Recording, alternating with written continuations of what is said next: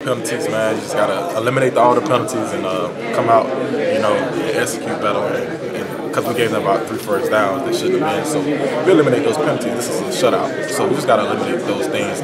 You know, I think because we was about it, you know, we rushed, but now we're back in the swing of things. So just eliminate those penalties. That, that first drive must have been very frustrating. Yeah, just, just a penalties, man.